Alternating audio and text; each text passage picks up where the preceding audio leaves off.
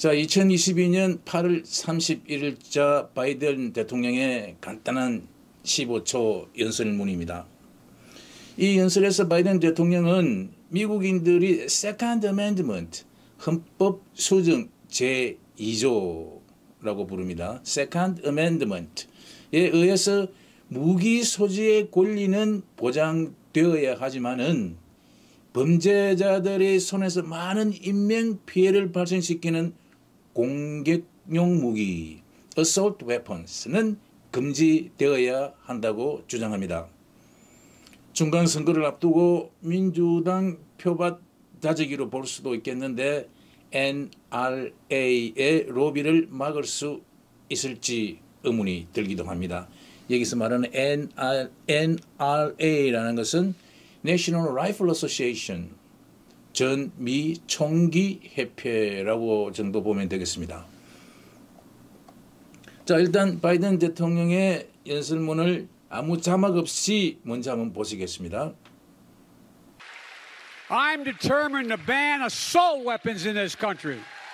Determined. I did it once before, and I'll do it again.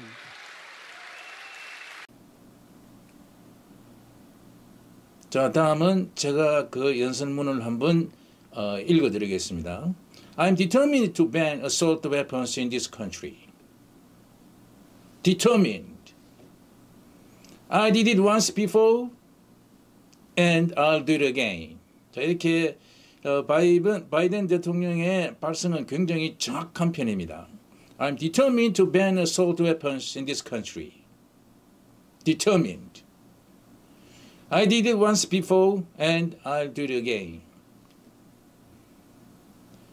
저는 이 나라에서 공격용 무기를 금지하기로 결심했습니다. I am determined. 나는 굳게 마음을 먹었습니다. 그 determined를 강조를 합니다. determined. I did it once before and I'll do it again. 저는 전에 한번 그렇게 했었고 다시 그럴 것입니다. 이렇게 단호하게 이야기하고 있습니다. determined.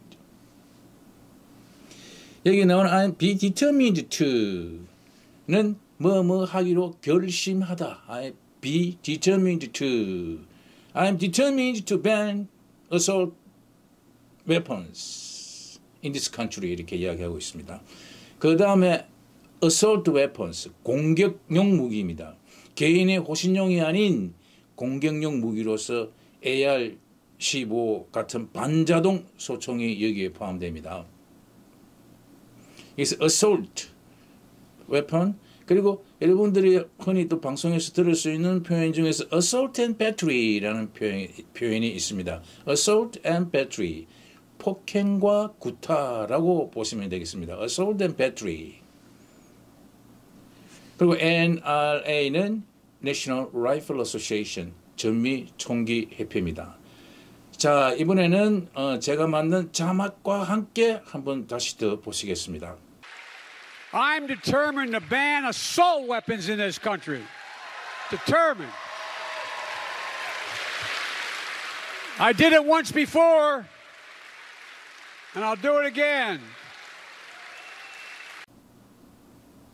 네, 감사합니다. Hope it helps.